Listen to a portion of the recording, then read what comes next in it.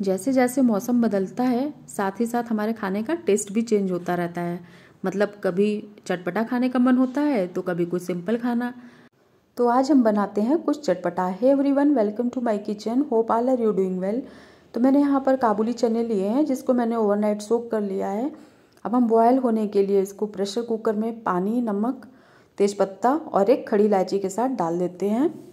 तो पहले इसमें थोड़ा सा खड़ा मसाला मैंने ऐड किया है, जिससे इसका फ्लेवर बहुत ही अच्छा आता है, बढ़ जाता है। और अब हम चलते हैं आगे के प्रोसेस में। तो यहाँ पर मैंने लहसुन, अदरक का पेस्ट तैयार कर लिया है। और अब हम बनाएँगे मीठी चटनी। हमारे पास अगर इमली अवेलेबल नहीं भी है तो भी हम झटपट वाली मीठी चटनी बना लेते हैं। तो इसके लिए मैंने एक पैन में पानी लिया है। तेज़पत्ता, एक खड़ी इलायची, सौंफ और दालचीनी आमचूर पाउडर और साथ में मैंने यहाँ पर जैगरी डाल दिया है। आप चाहे तो जैगरी पाउडर भी यूज़ कर सकते हैं। कश्मीरी लाल मिर्च डाल दी है। इन सबको अच्छे से हमें बॉयल कर लेना है और सीम पर थोड़ी देर हम इसको पका लेंगे। कंसिस्टेंसी आप आ, अपने अकॉर्डिंग कम ज़्यादा कर सकते हैं। तो यहाँ पर ये मीठी चटनी तैयार हो गई है। तो हम इसको छान लेते हैं। यहाँ पे मैंने उबले हुए आलू लिए हैं जिसमें मैंने सॉल्ट ऐड कर लिया है। लहसुन अदरक का पेस्ट है हरी मिर्च है और प्याज ऐड कर लिया है। आप चाहे तो यहाँ पर लाल मिर्च पाउडर भी ऐड कर सकते हैं और ऊपर से हमने खूब सारी धनिया पत्ती डाल दी है। अब इन सबको हमको अच्छे से मिला लेना है। और अब हम क्या करेंगे ना, टिक्की बनाने के लिए हाथ में पहले हम ऑयल ग्रीस कर लेंगे ताकि टिक्की चिपके नहीं हाथ में। और ऐसे हम छोटे छोटे टिक्की बना लेंगे और इनको हम सूजी में रैप कर लेंगे।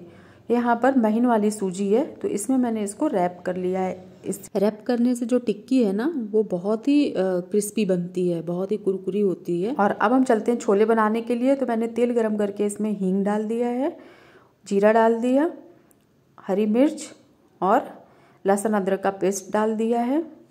और अब हम प्याज डाल देंगे और इन सबको हमको अच्छे से भून लेना है, जब तक कि प्याज बिल्कुल गल नहीं जाते हैं। और अब हम यहाँ पर टमाटर प्यूरी ऐड कर रहे हैं। आप चाहें तो चॉप करके भी टमाटर को डाल सकते हैं बट प्यूरी से छोले बहुत ही अच्छे बनते हैं। और साथ में हमने डाल दिए कश्मीरी लाल मिर्च, हल्दी पाउडर थोड़ा सा गरम मसाला और थोड़ा सा जाएगा धनिया पाउडर। इन सबको अच्छे से भून लेना है जब तक कि हमारा ऑयल अलग नहीं हो जाता है, ये देखिए। और तब तक हम साथ ही साथ इधर टिक्की सेक लेते हैं। तो मैंने पैन में ऑयल डालकर गरम कर लिया है। और अब हम एक एक करके सारी टिक्की को डाल देते हैं। तो मैंने यहाँ पर सूजी रैप किया है। आप चाहें तो इसको जो सेवैयाँ होती हैं ना, उसमें भी रैप कर सकते हैं। उससे भी टिक्की हमारी काफ़ी स्वादिष्ट बनती है और बहुत ही अच्छी। अब हम दूसरे साइड से भी थोड़ा सा ऑयल लगा देते हैं और फ्लिप कर लेते हैं। हमें बीच बीच में इसको फ्लिप करते रहना है।